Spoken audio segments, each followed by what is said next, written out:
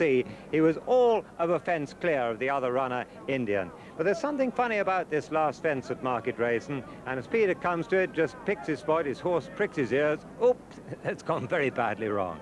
But all is not lost. Peter jumps to his feet, nursing, no doubt, a couple of bruises. His poor old mount, I'm afraid, Hazy Sunset also nursing a couple of bruises on his shoulder, I think, and no stirrups. Uh, hey-ho, Tonto, comes Peter alone, home alone to the cheers of the crowd. Poor old horse, he finished a little bit lame, but uh, more of that in a moment. Well, here once again you'll see what went wrong for Peter, and despite the fact that Indian was within a fence, oh dear, he did jump that badly, didn't he? Jumped very, very crooked indeed.